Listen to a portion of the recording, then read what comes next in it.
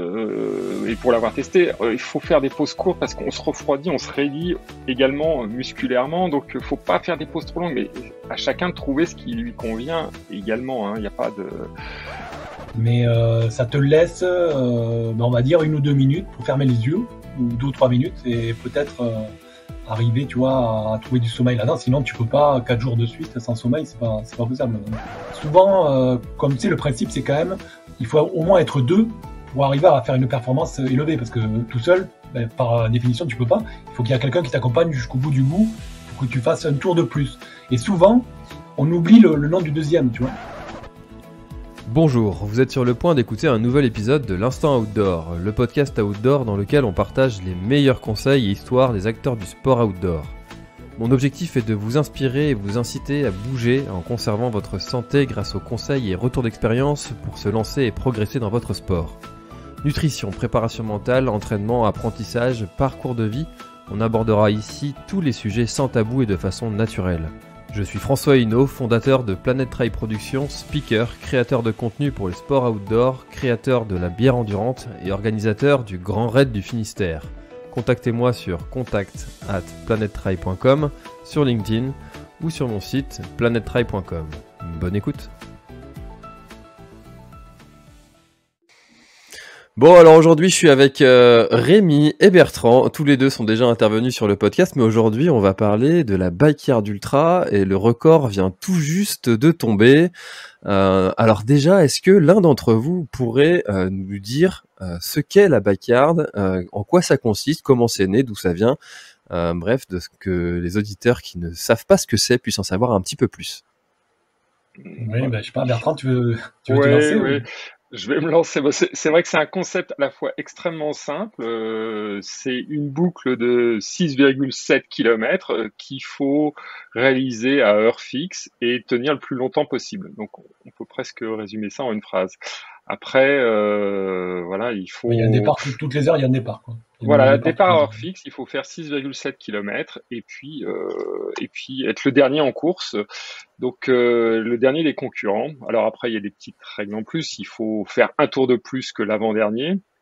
Mais euh, voilà, c'est une course qui peut durer quelques heures, à des dizaines d'heures, ou comme le record du monde vient d'être battu là en 90 heures, ce qui représente 600 km. Voilà. Euh, et puis, euh, bah, ça se passe sur, euh, sur- alors euh, les règles de terrain euh, sont pas totalement établies, mais voilà, c'est- une boucle de, de 6,7 km.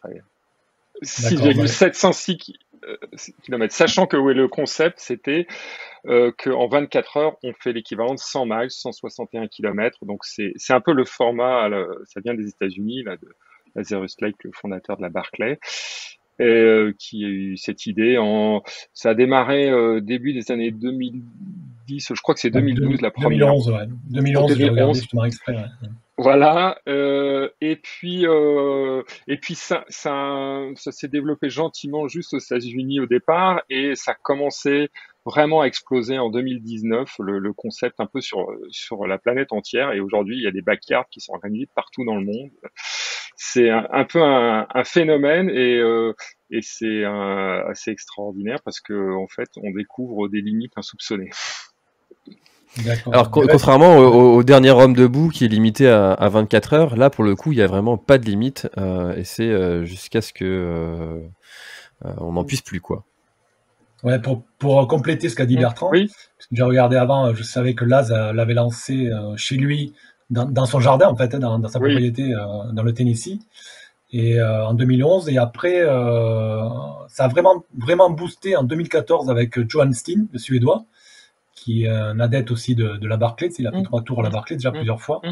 Et il a fait en 2014, il a fait 49 tours euh, associés avec. Enfin, ils ont fini à deux avec un, un copain. C'est la seule fois d'ailleurs où où il n'y a pas eu euh, un seul finisseur. Ils ont arrêté tous les deux ensemble. Donc, euh, donc c'est marqué. Il n'y a pas de vainqueur sur, sur l'édition 2014. Il a marqué. Et, euh, et après, ben, il y avait en 2017 Guillaume Calmette qui a mis le, le compteur à 59 tours. Là, c'est on montait déjà très haut. ça avait pris un bon. Et, euh, et après, ça a pu arrêter de, de, de redire. On, a- on voit qu'en 2000, euh, 2020, il y avait Courtney Daughter qui l'avait gagné, la, la féminine, qu'il avait fait so- 68 tours.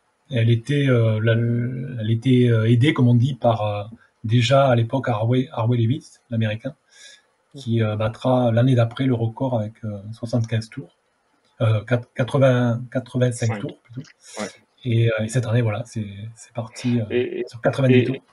Pour, pour, compléter, c'est vrai que c'est euh, euh, bon, l'histoire de Johan Steele était assez amusante parce que quand il, il a fait l'épreuve, en fait, il a dû abandonner parce que il avait pas prévu que ça durait aussi longtemps. Il avait un billet d'avion, il fallait absolument qu'il rentre. Exactement. exactement. Voilà. Euh, donc c'était pas prévu comme ça, mais la règle dit il faut faire un tour de plus que l'autre et son adversaire euh, avait abandonné, mais lui, il était obligé d'abandonner aussi. Après, euh, moi, j'ai souvenir en 2016 quand Lazare qui est venu en France euh, faire des différentes conférences. Fin 2016, moi, c'est là que j'ai découvert le concept où il a expliqué. Euh, il venait parler de la Barclay, mais expliquait le concept. Et, mais personne connaissait trop. Il y avait juste en, Angleterre et en Irlande une épreuve, mais voilà, ça s'est popularisé là en 2010 2018-2019. Et puis maintenant, voilà, il y a l'épreuve d'origine aux États-Unis, c'est devenu le, la un peu la finale du championnat du monde euh, euh, avec les meilleurs maintenant euh, qui se qualifient là-bas. On s'inscrit plus comme on veut. Enfin, voilà, ça c'est. oui, a pris une autre, dimension. Hein ça a pris une autre dimension et c'est vrai que les, les, records ont fasciné au fil de l'eau tout le monde. Donc, comme expliquait Rémi là, à chaque fois on, on, on est étonné, ébahi. et voilà, maintenant, bon, une, une, année sur deux et ça va être le cas cette année. C'est un championnat du monde par équipe qui s'organise, qui aura lieu cette année au mois d'octobre avec des équipes nationales. Donc, il y a déjà une première édition en 2020 où Rémi était dans l'équipe de France. Et donc, euh, où là, c'est un effort collectif et il faut, faut, faut, que collectivement, on, fasse le plus de tours. Voilà. Mais toujours alors, même pour, pour, euh, pour, tous ceux qui, euh, qui se posent justement, j'imagine, plein de questions sur comment c'est possible de, de, tourner en fait pendant 90 heures, du coup, euh, enfin 90 heures, ça fait plus de 4 jours comment ça se passe euh, physiquement euh, et au niveau du, sommeil euh, pour pouvoir arriver à faire autant de, tours, d'heures d'efforts? Ah, je, pense alors, pour en avoir fait une, alors j'ai pas l'expérience parce que moi j'ai fait 27 tours, c'est pas comparé au, au, gars, ça fait très loin, mais je pense qu'il y, a une approche un peu de, de micro-sommeil, un peu comme, comme les marins en fait, j'imagine. Mmh. C'est-à-dire que euh, tu as le tour, ils le font. Bon, là, là, on a pu le voir là, euh, ben, dernièrement sur le 90 mm. tours. Euh, il y en avait dans les deux, il y en a un qui faisait toujours ses tours en 46-47 minutes. Mm. Et, le Belge, Merian, en, en plutôt lui en 54-55.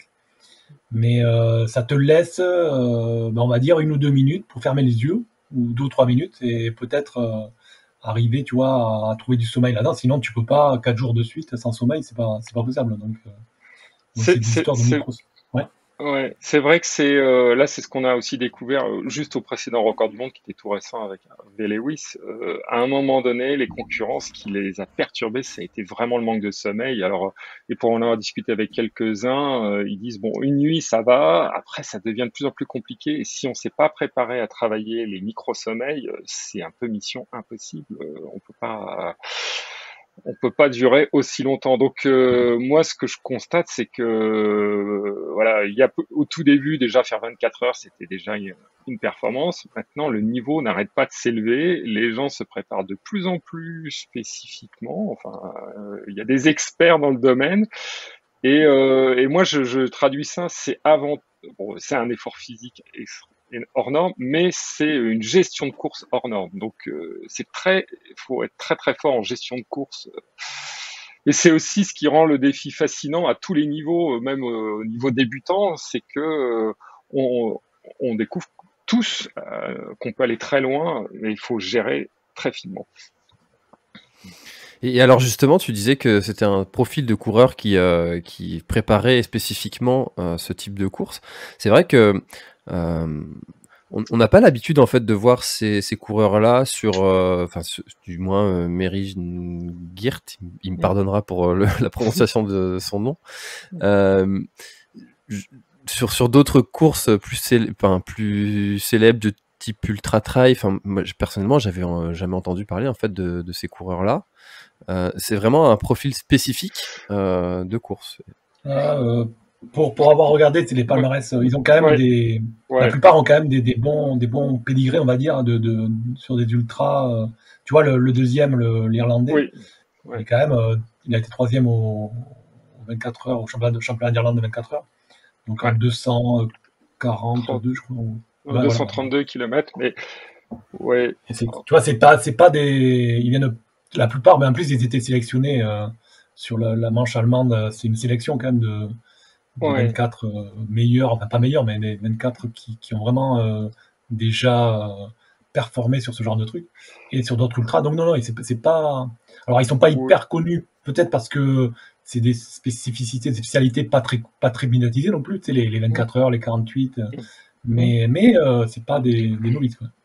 Ah oui, et pour compléter, euh, c'est vrai qu'ils ont quand même, euh, ils ont euh, maintenant des palmarès aussi, enfin, ils gagnent pas forcément l'UTMB, mais ils ont des palmarès assez étoffés de plus en plus. Moi, ce qui m'a marqué, bah, justement, c'est que les, deux coureurs, enfin, les, les, premiers coureurs, il y avait aussi un japonais qui a fait troisième et qui était déjà troisième à la Big en faisant 80 heures et qui a fait 73 heures. Euh, il a aussi un record sur 24 heures de, de, plus de 230 heures et il fait des ultra trails, euh, des 500 km, des courses au Japon. Alors on les, on les suit moins, on les connaît moins, mais qui fait des podiums euh, un peu tout le temps. Et, et donc ils sont, c'est des profils de ultra ultra en, endurance. Donc c'est où c'est des gens qui vont faire. moi j'ai vu des, bah, le japonais qui a fait le Spartathlon, qui fait qui fait des trucs peut-être un petit peu moins médiatique, mais euh, ils sont un peu, ils font quand même beaucoup de choses. Hein.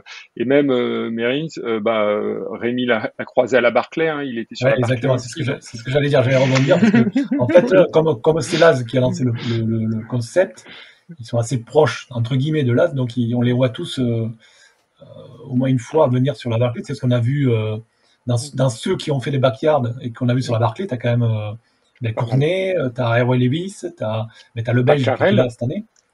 Ouais, voilà, t'as ben, si. Johan Steele aussi, tu vois, tu vois, tu vois, il y a, y a Guillaume Calmette, ils sont tous testés euh, euh, au, moins, au, moins, une fois sur le, la Bacard, sinon plusieurs fois, et aussi sur la Barclay. Ouais. Et après, avec des succès très divers quand même, hein, parce que autant mm. Carrel a l'air de, de, très bien se débrouiller aussi sur la Barclay. Mm. Euh, c'est quand même le, tu vois, l'homme enfin, qui, qui, finit le plus loin dans les deux dernières années.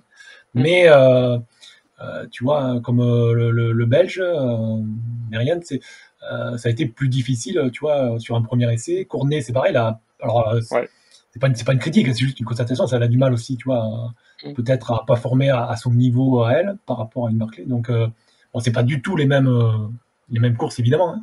Mais, mais pour l'anecdote, voilà, on les a vus tous, tous tourner au moins un ou deux tours sur la Barclay. Ouais, ouais, ils sont, ils sont quand même, enfin, ils ont quand même euh, des, des, expériences multiples. Hein. Après, euh, ils, ils, sont quand même très forts sur d'autres épreuves également. Après, il y a ouais, une expertise plus ou moins marquée, comme euh, le souligne Rémi. Euh, bon, la Barclay, il faut aussi de l'apprentissage. Enfin, c'est d'autres qualités également. mais ce que je constate, c'est que le niveau monte, mais les, les coureurs ont des de plus en plus des très gros niveaux d'ultra endurance. Euh, d'ailleurs, pour arriver à faire des tels euh, nombres d'heures, euh, waouh, c'est. Je, je, constate un rajeunissement aussi, même si on a des contre-exemples. bon, Harvey Lewis, je sais pas son âge, mais il est pas tout, quand même pas si jeune que ça. Et il a fait 85 heures. Donc, 48 ans, je crois, ou tu vois, un truc comme ça. Ouais, ouais, je dirais dans ces eaux-là. Donc, euh, bah, il faut, il faut du métier, il faut, mais il faut savoir très très bien gérer. Après, j'ai aussi constaté qu'il progresse très vite. Euh, le japonais, par exemple, euh, qui a fait 73 heures, là, qui a fait troisième et qui a fait 80 heures à la big, euh, sa première backyard, il a fait 42 heures il y a, il y a, il y a deux ans, quoi, ou trois ans. Donc en fait, il a un peu doublé son niveau. Ouais. Et c'est vrai, en plus, pour, pour rebondir, c'est vrai qu'il y a beaucoup qui, qui ont été le deuxième homme, c'est celui qui arrive, qui est jusqu'au bout mais qui finit pas et qui après on, a remporté une avec beaucoup plus de tours. C'est comme Harway Levis qui avait commencé, euh, et il était deuxième euh, pour Dalwater, Dalwater avec 67 euh, tours, lui il avait fait. Et tu vois qu'après derrière, l'année d'après, il l'emporte avec 85. Donc tu vois, il a bien progressé et il arrive à gagner. donc il y a une expérience de, de, de, la backyard, une expérience spéciale backyard. C'est ça, c'est ça. On, on, se perfectionne parce que c'est c'est une gestion de course quand même très spéciale où, il faut, si je devais résumer, il faut s'économiser au maximum pour tenir le plus longtemps possible. Après, il faut, il faut quand même avoir un bon moteur, être assez rapide pour avoir de la marge. Et je faisais le petit calcul, ben, euh, là justement de ces coureurs qui me affichent des 230 km sur 24 heures en, compétition, euh, quand ils doivent faire 161 km en 24 heures, c'est 70% de leur, euh, leur chrono sur 24 heures. Donc ils ont un, gros moteur, enfin des grosses capacités, mais après il faut s'économiser, s'économiser pour tenir. Oui, euh, après, euh, tu vois ce que tu dis pour, pour euh, prendre les comparaisons entre 24 heures, une backyard ou 48 heures, tu, sais, tu peux pousser jusqu'au bout parce qu'il y, a des 6 jours aussi qui sont organisés. Oui. Il n'y en a pas énormément, hein, mais, mais tu vois, c'est ce que j'avais écrit que le record du monde de, 6 jours, c'est toujours Kouros, hein, le, grec, oui, avec 1000, 1022 km. Mm. Euh, et, si tu, et si tu rapportais 6 jours en backyard, alors on n'était pas loin avec, euh, avec le Belge, euh, il y a fait 4 mm. jours, quoi. Et mm. tu arriverais à 965. Donc on, est, on est très proche quelque part du même kilométrage, tu vois. Pour, donc c'est pas du tout la même gestion de, de course, j'imagine, hein, de sommeil. Mais ça se rapproche en, en, niveau de la performance dans, quand on le fait dans le temps. Donc, donc c'est là où on, prend, tu vois, on prend conscience que, que la performance backyard sur du très long comme ça, sur 4-5 mm. jours, c'est quand même mm. énorme. C'est vraiment. Euh, c'est exactement, exactement. Après, c'est, enfin moi personnellement, ça m'a passionné euh, et en même temps, je, bah, j'ai fait une course de 24 heures là récemment et je l'ai, je l'ai fait en mode backyard en disant je vais travailler ce rythme avec euh, kilométrage, pause de quelques minutes et redémarrage et donc aller lentement mais constant pendant 24 heures et et euh, ça a très bien fonctionné. Mais c'est c'est un autre, euh, ça, alors que souvent on, va courir vite, puis après on essaie de tenir, limiter la casse. Enfin, donc je trouve que c'est très enrichissant comme euh, comme comme expérience la backyard pour travailler le, la gestion de course. Ouais, tout à fait, tout à fait d'accord avec toi. Parce que souvent, souvent sur un long, on a tendance, tu sais, tu peux très bien vite exploser parce que tu essaies toujours de tenir. Mmh. Et même en tenant à moins de cadence, au bout d'un moment, tu, mmh tu tiens plus et tu, tu, vas beaucoup moins vite que, que si tu faisais, euh, comme tu dis, quoi, des, des, des, arrêts forcés toutes les heures. Euh. C'est ça. Bon, après, il faut savoir euh, quelle est l'arrêt, enfin, quelle est la durée de l'arrêt euh, idéale, ouais. pouvoir pas trop baisser en, en moyenne non plus, quoi. C'est ça, c'est ça. Mais c'est ça qui est fascinant. Après, d'ailleurs, on voit même à, à, des moindres niveaux, bah, des coureurs, ils se disent, oh mais finalement, j'ai pu faire 100 km bon, faut faire quand même 15 heures, hein. mais euh, j'aurais jamais imaginé, enfin des gens un peu débutants qui se disent, oh, j'ai des capacités que j'imaginais pas, mais parce que on les a, ce rythme force une gestion spéciale. Exactement, ah c'est bien. Ça permet de se dépasser. Euh, ouais, je suis d'accord avec toi exactement. D'aller beaucoup, d'aller au-delà de ce qu'on aurait pu imaginer, parce qu'on se force à récupérer, mais finalement on se rend compte que ça rejoint euh, un effort continu presque, tu vois. C'est ça qui est assez. Ça peut être une bonne préparation pour un type d'ultra comme euh, l'ultra marin où euh, il y a finalement assez peu de dénivelé et euh, Exactement, exactement. C'est un très, très bon exemple. Et, et je vois, bah moi je m'étais cassé les dents à mon premier ultramarin justement avec une très mauvaise gestion de rythme. et voilà, alors que finalement, si on part plus doucement et qu'on gère, on explose ou dit. Enfin, voilà, c'est très enrichissant. sur un ultra, on a toujours tendance à partir trop vite, quoi, quelque part, euh, souvent, parce que tu es en forme et tout, toujours au début, et, et le, le, jus que tu mets au début, même si tu as l'impression de pas aller vite, tu te forces à pas aller vite, tu vas toujours plus vite que si tu fais une bagarre, forcément, puisque la bagarre, enfin, la bagarre, tu es obligé de t'arrêter. Donc, euh, euh, et, finalement, les, les, arrêts forcés que tu fais dans une mmh. bagarre au début, ah, ça, ça, t'aide vachement pour aller plus loin, c'est sûr. Et, et, d'ailleurs, on, bon, on voit sur les, les backyards, parce que pour beaucoup c'est quand même un petit peu nouveau, euh, euh, ben, ils, ils, démarrent et puis ils font des tours en 42, 45 minutes en disant oh non mais c'est bon, je force pas. Et puis en fait, ils se crament et, au bout de 10 tours, ils disent ah mais j'en peux plus, j'ai explosé. Et on peut pas se permettre d'exploser, d'avoir un moment de faiblesse euh, sur ce genre de course. Alors que si t'es parti plus doucement, ils, ils iraient plus loin, mais la fois suivante, ils apprennent et ils le contre-exemple, c'est quand même euh, Kate Roussel, l'Irlandais, qui a fait tous ses tours en, Alors, 46-47, je trouve hallucinant. Quoi. Il, a vraiment, t'imagines, moi, moi, moi aussi, moi aussi, j'étais très surpris, mais ça, pour moi, ça révèle aussi des capacités bien supérieures parce que souvent, bah, des gens s'inscrivent à des backyards là maintenant et puis découvrent complètement. Ils n'ont pas forcément un niveau extraordinaire. Enfin, euh, et, euh, et euh, mais, mais lui, je pense qu'il a une grosse marge de manœuvre, manifestement pour, euh, pour gérer ce rythme. Il pourrait faire du 35 minutes, mais bon, 45 minutes, euh, il, peut le faire et lui, il joue la, la récup. C'est un peu nouveau. Euh, les premières backyards, justement, quand j'analysais un peu les, les tableaux, les gens faisaient plutôt 50-52 minutes.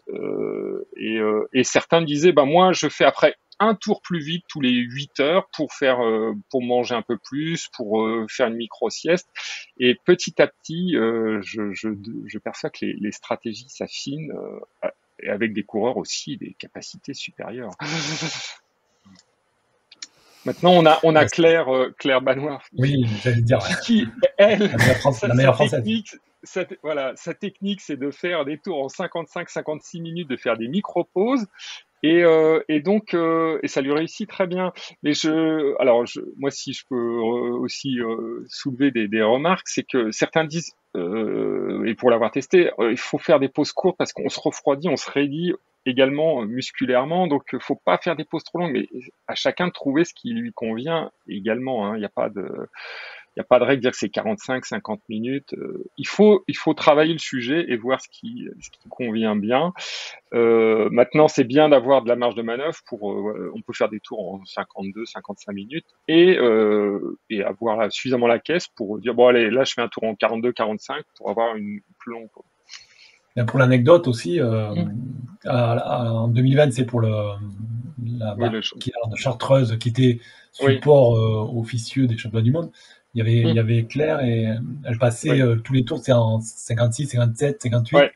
Et il y a des fois, c'était, alors elle est allée très loin, hein, parce qu'elle a fait 40, 42, euh, je sais pas. Et, et à chaque fois, j'arrivais un peu à l'avance et je me, dis, je me disais, mais elle est pas là, elle est pas là. Est-ce qu'elle est va arriver à passer le. Tu avais un peu peur pour elle, tu dis, c'est pas possible. Quoi, elle, a mal, elle a mal géré, elle a mal euh, regardé. Et tout de suite, t'attendais. Euh, il avait, il avait, euh, il, il resifflait à trois minutes du truc. Oui. Donc on se, re, on se reprépare trois minutes avant, elle était toujours pas là, tu dis mais c'est pas possible. Et elle arrivait, et elle, mangeait vite fait, euh, elle prenait un truc avec elle, elle mangeait, elle repartait. Euh.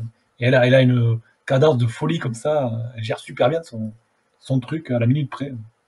Non, mais c'est fou. Alors, euh, autre exemple, puisque là, à cette toute dernière backyard, il y a la, la française mais qui habite en Belgique, qui, qui, court sur les couleurs belges, la Fanny Jean, la qui a fait première féminine en 44 heures. Enfin, elle était beaucoup avec Claire. Et, euh, et j'ai échangé un petit peu avec elle et elle me, parce que elle, elle a progressé à une vitesse phénoménale. Hein. Je, euh, elle a démarré le, le trail et l'ultra vraiment tout récemment.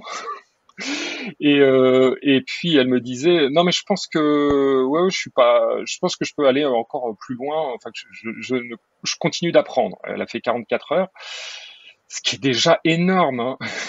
Et, euh, et euh, voilà, elle, a démarré, euh, elle a gagné une, une backyard une fois en, 25 heures. Alors après, des fois, il y a des notions de dénivelé qui jouent. Là, par exemple, ce qui était moi, ce qui m'impressionne aussi, c'est qu'il y avait quand même 100 mètres de dénivelé sur cette backyard en Allemagne.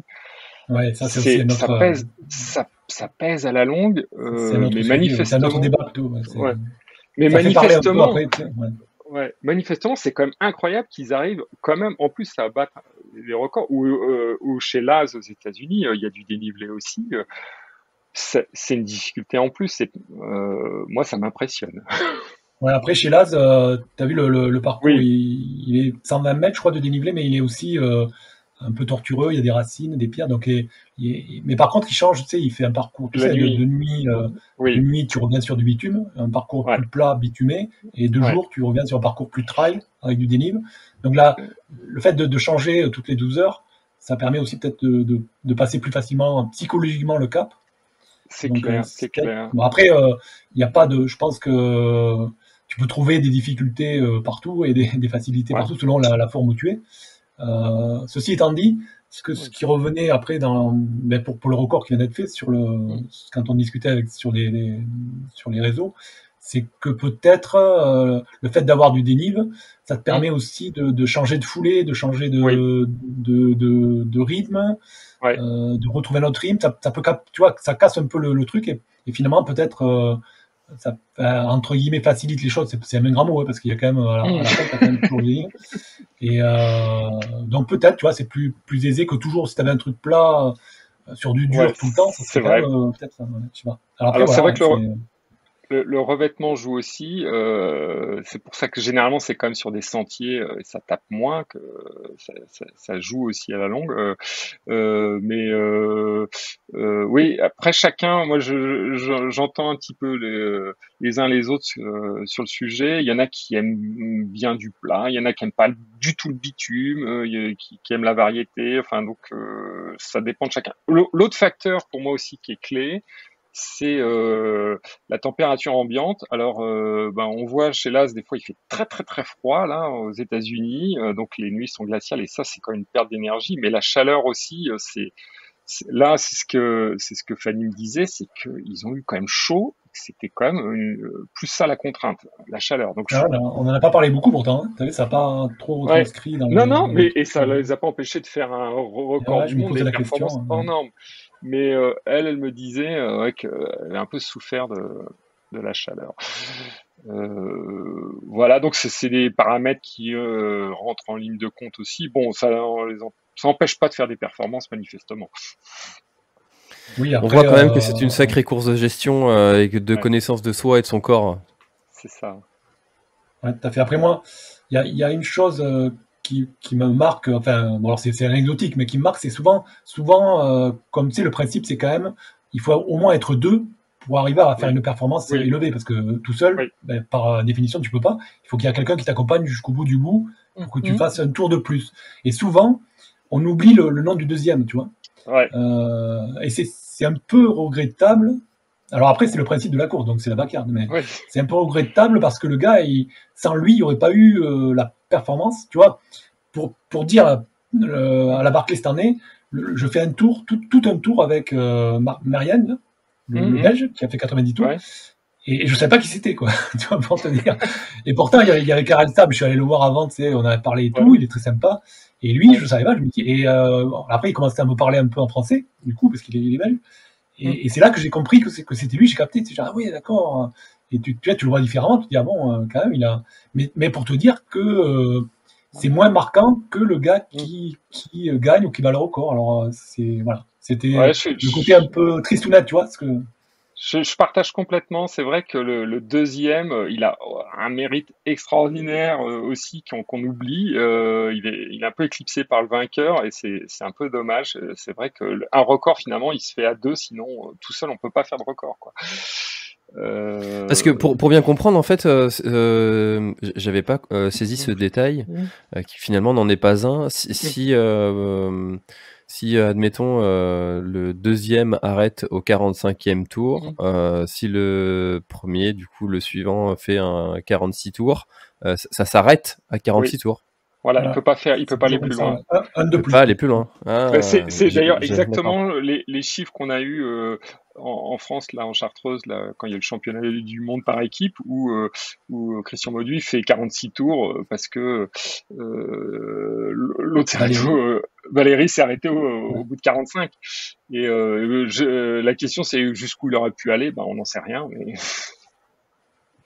Ah oui, donc euh, ton point, il est très, euh, très pertinent, Rémi, sur le, le, deuxième qui a. Ouais, euh, c'est une course à deux, en fait. C'est une course qui se, fait, qui se fait à, minimum à deux, à minimum, parce que après, tu as toujours. Si, si tu es plus 3-4 avec plus de nombre, forcément, ça va t'aider, t'entraîner à aller plus loin. Mais il y en a toujours un, dernier, enfin deux, alors toi et quelqu'un qui doit aller encore plus loin pour, battre les trucs. et, et d'ailleurs, à, ce, à, cette version allemande là, vient d'avoir lieu, euh, c'était impressionnant parce qu'on voyait euh, quatre coureurs déjà en plus de 60 heures, et là on sentait qu'il y avait un, il y a un effet de groupe forcément qui joue, quoi, qui pousse tout le monde vers le haut, quoi. Donc s'ils avaient été deux euh, pendant 30 heures ou 40 heures, est-ce que ça serait allé aussi loin? Je ne sais pas, mais voilà. en tout cas, ça a contribué. Le japonais, il a fait 73 heures. Bon après, ils ont quand même fait 17 heures tous les deux seulement.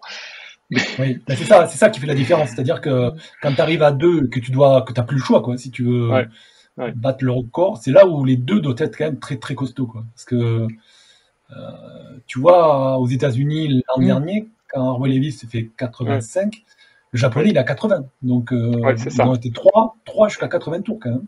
C'est plus que cette année, quoi. Tu vois. Exactement. Mais c'est, voilà, il y a un effet euh, d'autant plus entraînant euh, pour, pour, pousser euh, le bouchon. Après, moi, ce qui m'intrigue et j'aimerais bien avoir justement le, euh, les réactions de, de, notre de Mérine, c'est que dans quelle mesure le fait qu'il a fait euh, deuxième euh, il y a deux ans en 74 heures et Carrel a fait 75 heures et en plus battu le record du monde à cette occasion, est-ce que ça vraiment la, la, décuplé sa motivation pour cette fois-ci ne pas faire deuxième, pas être vice-recordman du monde, mais le vainqueur Ouais, moi je, moi je pense par, par rapport à ce qu'il a posté ces, euh, ces derniers temps, c'est devenu, c'était devenu son objectif euh, premier euh, de, de bah, pas de sa carrière, mais au moins de son année. Et, il pensait qu'à ça, quoi. Là, c'était pour lui. Euh, David avait même un tableau de marche pour essayer d'aller jusqu'à 100 tours. C'est ça, c'est ça. Et, non, non, c'était vraiment son, truc. Après. Mais je pense que Keith, l'Irlandais, pareil, hein, que c'était son un objectif majeur pour lui. Hein, je Bon après, euh, après c'est, il y a, un, euh, on craque, euh, enfin c'est un mental et physique. Je sais pas si c'est, moi je, voyais mal comme cette quatrième nuit aller encore jusqu'au bout, parce que la nuit c'est beaucoup plus dur et voilà les, coups de sommeil. Enfin je sais, sais pas parce qu'il a fait son, euh, il a fait son dernier tour toujours en 45 minutes, donc pourquoi il a arrêté, je sais pas. Ouais, 47. Bah après, après la particularité c'était quand même une, une sélection de oui. de, des meilleurs coureurs, euh, tu vois, qui, ont, déjà des palmarès, c'est l'impression. Donc c'est, ça a aidé à faire la performance parce que quand tu es chez Laz, c'est souvent aussi des, des, des, une sélection. Quand tu vois, tu arrives, c'est lui, c'était considéré comme le cheval du monde un peu son, hum, dans hum. son jardin ces derniers temps. Euh, donc il faut prendre en compte ça parce que tu vois, il y a plein plein de backyards pour revenir au sujet de backyards hum. qui se sont développés dans, sur la planète et qui sont en, enfin, en lien direct avec la barriade de, du Tennessee, de Laz. Hein. Donc, euh, il doit y en avoir, tu vois, en France, il y en a de, de qualificatifs, il doit y en avoir, euh, allez, 5, 6, 6, 7, ouais, un truc comme ça, je dirais. Ouais, et, ouais. et, dans le monde, tu multiplies par, euh, voilà, il doit y en avoir une centaine, une centaine peut-être, mais pour dire qu'elles sont pas toutes quand même, euh, il y a vraiment de tous les niveaux, quoi. Il y, y en a qui, J'en ai vu une qui a lieu ce week-end, justement, en même temps que, que celle-là qui a pris le, le, pas au niveau médiatique. Mais je crois que le gars, il, avait, il a fait 19h euh, ou 23h, tu vois. Ce, ce qui n'est pas, ce qui n'est pas euh, extraordinaire, c'est, pas non plus euh, nul, quoi, tu vois. Mais, mm. mais euh, pour te dire qu'il y a quand même tous les niveaux de backyard qui, sont, qui, qui existent un peu partout. Quoi. Après, voilà, il faut. Bon, là, on a des circonstances exceptionnelles, des coureurs exceptionnels. Le, principe des backyards, c'est d'aller euh, découvrir euh, un peu ses capacités. Et euh, moi, j'incite et j'encourage n'importe qui à essayer parce que, euh, bah, au rythme backyard, on fait un marathon tranquille. enfin, il faut quand même le faire. Mais, mais plein de gens se disent, oh là là, c'est compliqué. Non, c'est pas si compliqué. Et, et beaucoup de gens qui ont essayé sont surpris à l'être beaucoup plus loin qu'ils imaginaient. Oh, finalement, je peux faire 50, 80 bornes, enfin, et que c'est pas si inaccessible, voire 100 et, et plus. Donc, euh... ouais, après, ce qui est bien sur ce système-là, c'est un peu l'ambiance, tu vois, le côté euh, convivial, familial, parce que nous, nous, dans le club, le petit club hein, de, de, campagne où je suis, on en a fait une dimanche euh, pour 6 heures, tu sais, 6 heures, et après, derrière, il y avait un petit repas, un barbecue. Mais, mmh. mais les 6 heures, justement, ça permet de faire participer tout le monde, de tous les niveaux du club. Parce que tu sais que bah, 6,7 tu vas tu vas le faire une fois deux fois tu vois tu quand même euh, ça fait partie de l'entraînement euh, de base. Plus tu te reposes entre les deux. Donc tout le monde se repose en même temps. Tout le monde participe tout le monde rigole. Et ça fait une, une émulation assez euh, assez sympa euh, surtout que ceux qui vont jusqu'au bout on, on, fait quand même tu vois sur, ce coup-là 6 heures on mm. fait 42, 42 km donc c'est mm. c'est pas mal comme système ça permet de, de regrouper tout le monde.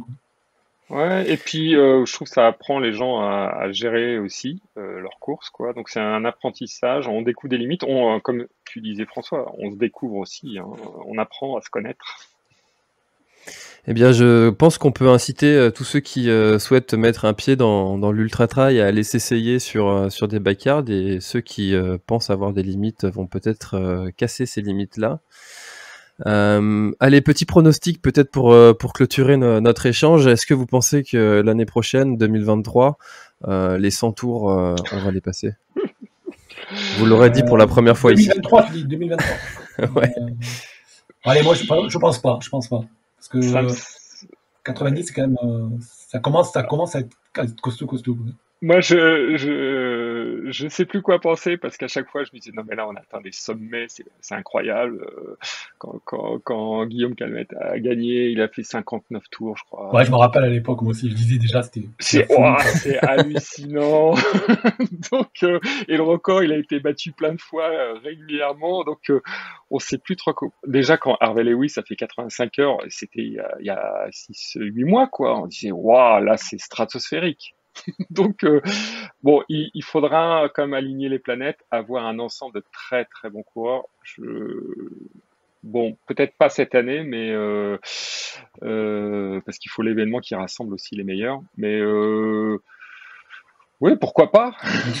Parce qu'après cette année, pour, répondre à François, cette année, comme tu disais, les championnats du monde, alors officieux, hein, c'est pas une spécialité fédérale, mais euh, ont lieu dans, dans, dans, tous les pays à la fois. Quoi. Il y a pas...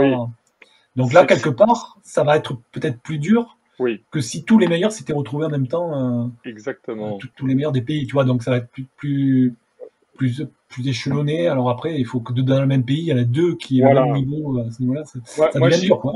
J'y crois pas trop, quoique euh, côté belge, parce que c'est quand même eux qui avaient gagné par équipe en 2020.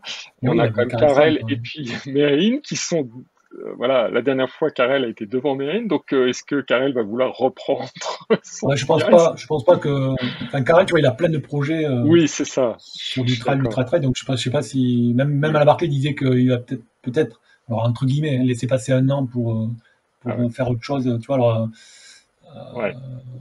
Ouais, après, après les années passent vite, quoi. C'est toujours. C'est vrai. Non, mais c'est quand même très exigeant. Il faut, il faut vraiment, ça doit être un objectif majeur aussi. Donc, euh, et euh, tout mais là, tu as la question, la, la, bonne question par rapport à ce que tu dis là, c'est comment il va récupérer la Marianne sur le sur ce coup-là?